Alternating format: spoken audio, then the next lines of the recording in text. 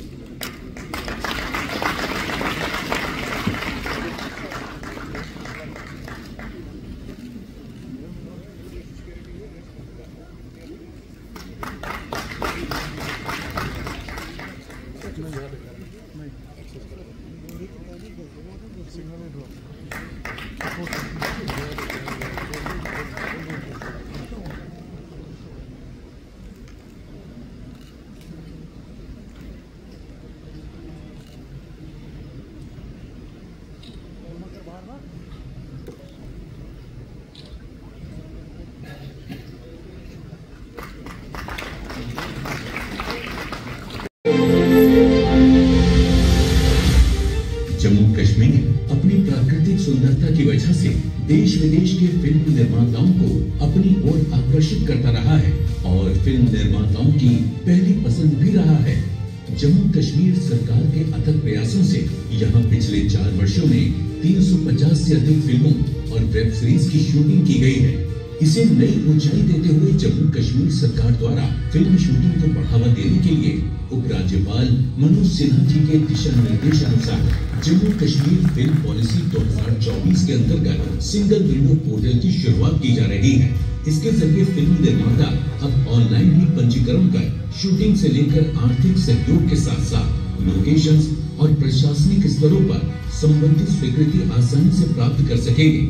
आज माननीय उपराज्यपाल श्री मनोज सिन्हा जी अपने कर कमलों से इस सिंगल विंडो पोर्टल को फ़िल्म निर्माताओं को समर्पित कर रहे हैं। इस कदम से जम्मू कश्मीर में फ़िल्म निर्माण और फ़िल्म पर्यटन को और भी बढ़ावा मिलेगा, जिससे आर्थिक समृद्धि भी आएगी। इसके साथ ही फ़िल्म स्क्रीनिंग सीरीज़ का भी हो रहा है शुभारंभ। इस सीरीज़ में जम्मू कश्मीर पर केंद्रित और जम्मू कश्मीर के स्थानीय फ़िल्म निर्माताओं की फ़िल्मों की स्क्रीनिंग होगी।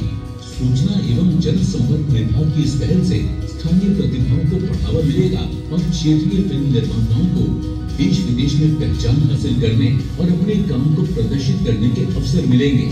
फ़िल्म स्क्रीनिंग सीरीज़ की शुरुआत जम्मू कश्मीर में केंद्रित फ़िल्मों की स्क्रीनिंग से होगी। 9 अगस्त से हर महीने के दूसरे शुक्रवार को department of information and public relation के श्रीनगर ऑडिटोरियम और हर चौथे शुक्रवार को जम्मू ऑडिटोरियम में इन फ़िल्मों की स्क्रीनिंग की जाएगी। इसके साथ साथ जम्मू कश्मीर के फ़िल्म निर्माताओं और फिल्मी सितारों के साथ विशेष चर्चा सत्र भी होंगे जिन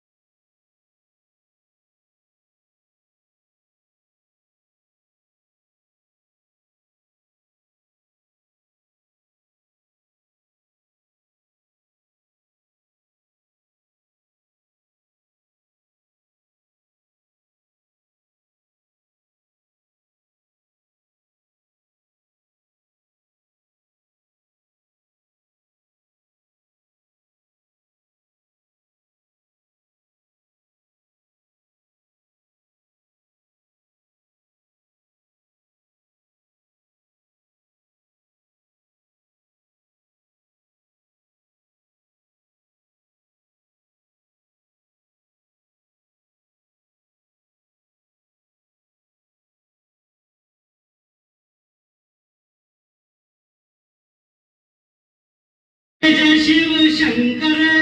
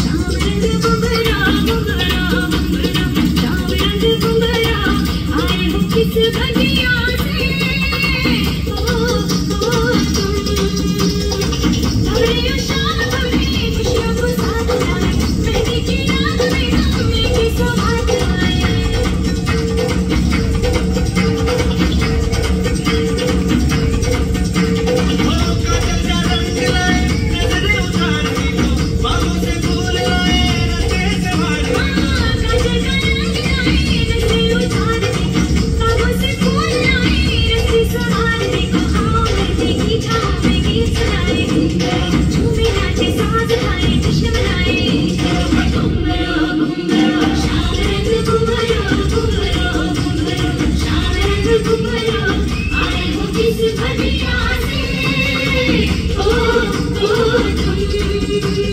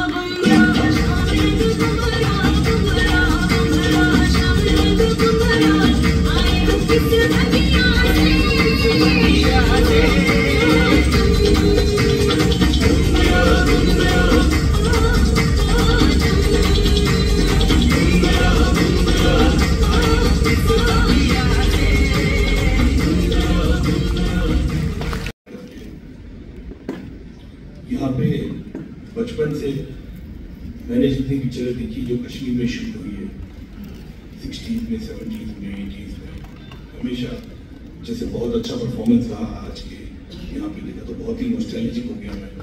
कितनी चीज़ें याद आई उस वक्त की, हम बचपन में देखते थे। मैं कश्मीर तकरीबन सोलह सत्रह साल से मैं आ रहा हूँ यहाँ पे। कंटिन्यूस आ रहा हूँ। 2007 या आठ में मुझे याद है। शुरू हुआ था फिर आना। हर साल आता हूँ, करीब तो दो बार आता हूँ यहाँ बहुत अच्छा लगता है। यहाँ से मेरे बहुत दोस्त हैं।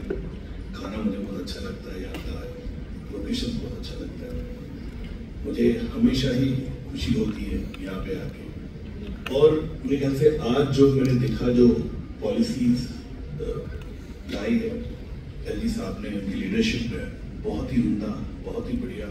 मेरे ख्याल से ये फ़िल्म इंडस्ट्री को बहुत बड़ा मैसेज जाएगा मैं हमेशा कहता हूँ फ़िल्म इंडस्ट्री जो है वो केवल मुंबई फ़िल्म इंडस्ट्री नहीं है, आज साउथ इंडस्ट्री भी बहुत ही इम्पोर्टेंट हो गई है, बहुत ही उनका भी हुए हमारे अतिथिगण फ़िल्म पर्सनैलिटी और फ़िल्म इंडस्ट्री से जुड़े हुए जानी मानी हस्तियाँ, मधुर भंडारकर जी, राहत काजमी जी, पराग मेहता जी, मीर सरवर जी और देवी और सजना।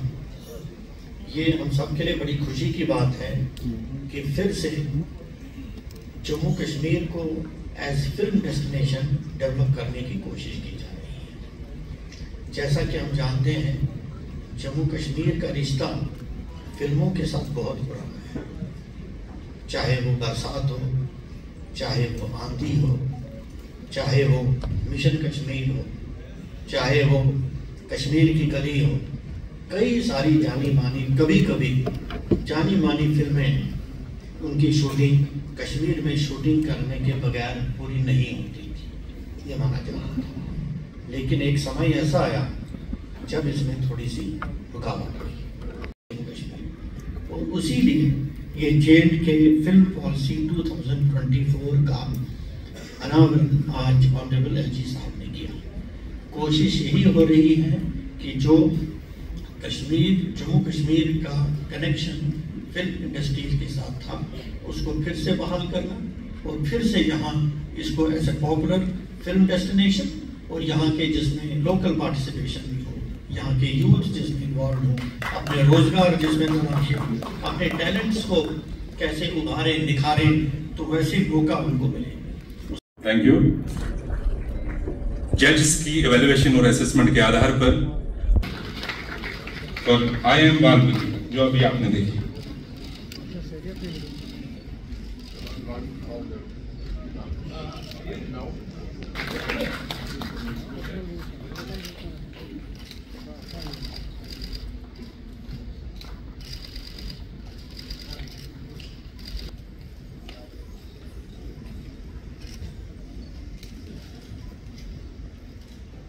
धन्यवाद।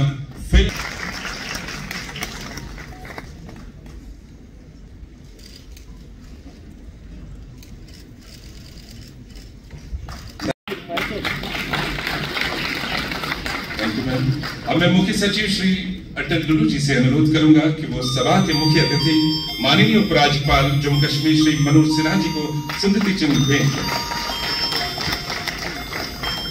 देवी और सज्जनों Atal Dulloo ji film director Shri Madhur film director Shri Rahat Kazmi casting director Shri Parag Mehta और जम्मू कश्मीर से ही film maker Mir Sarwar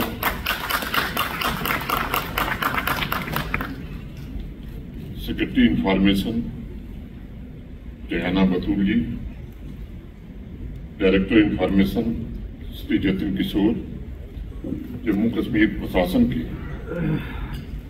हमारे सभी वरिष्ठ सहयोगी सेंट्रल यूनिवर्सिटी कश्मीर के ऑनरेबल वाइस चांसलर सात फ़िल्म मेकिंग कंपटीशन के विनर्स और पार्टिसिपेंट्स देवियों सज्जनों और मित्रों,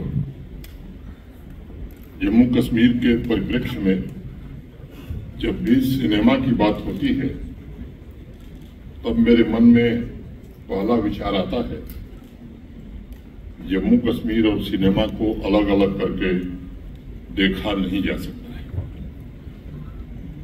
दोनों एक ही हैं। हमारे देश में जब भी सिनेमा की चर्चा होती है तो उसमें जम्मू कश्मीर निश्चित तौर पर शामिल रहता है।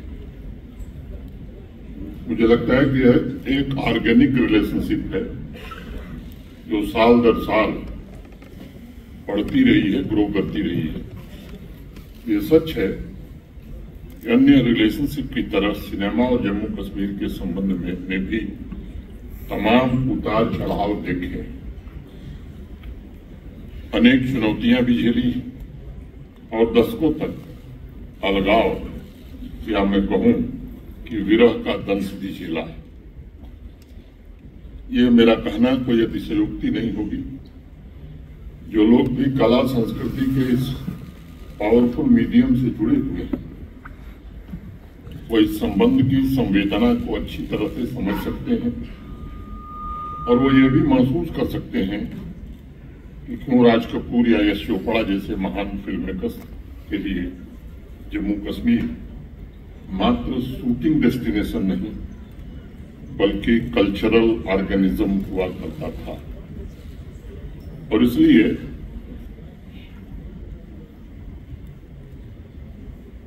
पिछले पाँच वर्षों में ये कोशिश हुई जम्मू कश्मीर और सिनेमा के संबंधों को फिर से शिद्दत के साथ कैसे जोड़ा जाए। इसके लिए अनेक प्रयास हुए। सिर्फ़ शूटिंग ही नहीं, बल्कि सिनेमा थिएटर की संस्कृति को भी पिछले चार वर्षों में पुनर्जीवित करने में जम्मू कश्मीर प्रशासन को सफलता मिली। उसी कड़ी में जो 2021 में फ़िल्म पॉलिसी बनी थी, आज संशोधित नई फ़िल्म पॉलिसी 2024 का लॉन्च फ़िल्म शूटिंग एवं सब्सिडी के लिए सिंगल विंडो पोर्टल का उद्घाटन फ़िल्म स्क्रीनिंग सीरीज़ का लॉन्च फोटोग्राफी कंपटीशन का लॉन्च और जम्मू कश्मीर सात फ़िल्म मेकिंग के विजेताओं का सम्मान आर्ट एंड कल्चर सेक्टर में वाइब्रेंट जम्मू कश्मीर के रिसर्जेंस का एक जीता जागता उदाहरण है। और तभी बशीर बद्र साहब की दो लाइनें मैं कहूँगा। उसके लिए तो मैंने यहाँ तक दुआएँ की, उसके लिए तो मैंने यहाँ तक दुआएँ की। मेरी तरफ़ से कोई उसे चाहता भी हो। इतनी सियाह रात, इतनी सियाह रात में इसको सदाएँ हूँ ऐसे चिराग दे जो कभी बोलता भी हो। ऐसे चिराग दे जो कभी बोलता भी हो। बड़ी शिद्दत से नए चिराग जलाने के प्रयास किए गए हैं। प्रशासन ने कोशिश की है। कि 40 वर्ष पूर्व फ़िल्मों का जो वातावरण या 50 वर्ष पूर्व जो वातावरण था, वो फिर से कैसे पुनर्स्थापित हो सके? आज इसलिए कई कार्यक्रमों की शुरुआत हुई और उसके मिले जुले स्वरूप को फ़िल्म कॉन्क्लेव का नाम दिया गया है। इसका उद्देश्य film makers industry professionals, cinema प्रेमियों को एक छत के नीचे लाकर सिनेमा का उत्सव मनाना है और जम्मू कश्मीर में एक अस्थायी फ़िल्म इकोसिस्टम का निर्माण करना है। मुझे विश्वास है यह फ़िल्म कॉन्क्लेव इन उद्देश्यों की पूर्ति के हमारे संकल्प को नई ऊर्जा प्रदान करेगा तथा कोलेबरेशन आइडिया ऑफ़ एक्सचेंज तथा फ़िल्म जगत के टैलेंट्स को ia sesat platform di media trail.